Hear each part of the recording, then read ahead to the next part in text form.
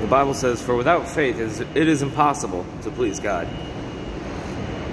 And he is a rewarder of them which seek him diligently. The Bible talks about he that heareth and understandeth the word is he that received the seed into the good soil.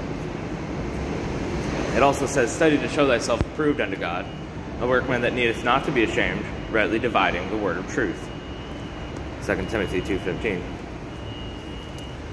And so in, in the parable of the sower, the parable is about the word of God. It says, and this is the parable, the seed is the word of God.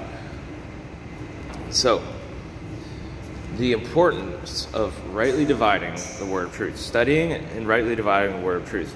So, first off, you have to have faith. Without the faith, you're never going to be curious enough to study the Bible because you won't believe it in the first place.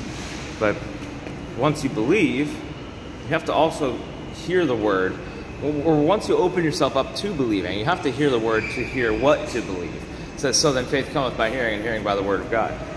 Um, so there's this importance of seeing the Bible in context and seeing Scripture in context. And when you do, it's this beautiful thing, life changing thing, soul saving thing, because you see, the Bible is not a book of contradiction, it's a book of context, and it's past, present, and future.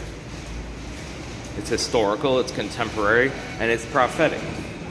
Uh, there's already been prophecies proving the Bible to be true, so that is uh, a big clue as to why you should believe the Bible. It says, We have also a more sure word of prophecy, whereunto you do well that you take heed, as a light that shines in, the, in a dark place until the day dawn and the day star arise in your hearts. Knowing this first, that no prophecy of the Scripture is of any private interpretation. For holy men of God spake as they were moved by the Holy Ghost. Um, yeah, it says, For the word of God came not in old time by the will of men, but holy men of God spake as they were moved by the Holy Ghost. And this is why the prophecies that they spoke were fulfilled. So this is clear proof that the Bible is completely true.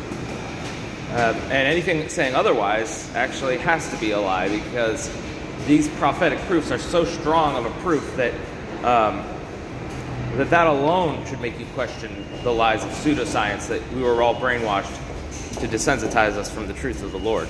Um, but seeing the Bible in context is so important because then you will understand the word. And so where we are in the Bible is we are post Acts, pre Hebrews. Romans through Philemon, or Romans through Titus. Those are, Philemon is a very short book, and um, it's almost like it's placed in there to even remind us again that there's like a, a dividing point.